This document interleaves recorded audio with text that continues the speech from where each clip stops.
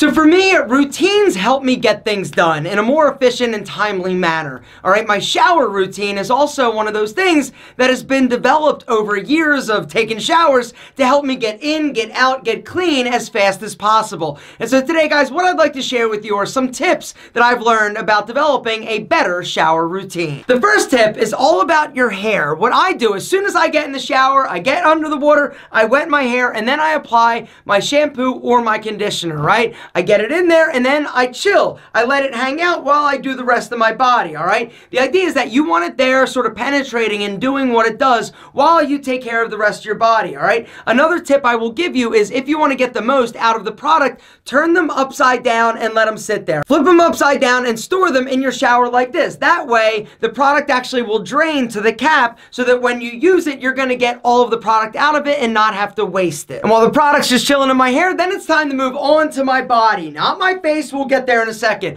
What I would recommend is invest in a Body Puff, a loofah, sponge. These things are super affordable and they're gonna help take your shower game to the next level, all right? They work incredibly well with your favorite body washes, even a bar of soap, right? Because if you just rub your body with a bar of soap, you're not really exfoliating, all right? This exfoliating Body Puff or loofah is going to do a great job really removing the dead skin, keeping the skin and the pores clear, all right? This Desperado body wash is amazing, all right? But don't forget, your feet, right? Too many dudes get in there, they do this, they get their boys, but they forget their feet. Gentlemen, if you're not washing or scrubbing your feet, they are definitely funky. After I give my body a little scrubbing with this, right, I'm all sudsy. What am I gonna do now? Exactly, I'm gonna manscape. This is the time in which I just, boom, go over my chest, little bit of arm action, even the boys, right? The idea is that the body wash is enough slipperiness lubrication in order to make the blade glide incredibly well. You don't need a big heavy shaving cream. For me personally, the body wash actually works incredibly well. After my body and my feet are clean, then it's time to move on to my face, right? Little bit of Tiege Hanley action right there, boom, boom, boom,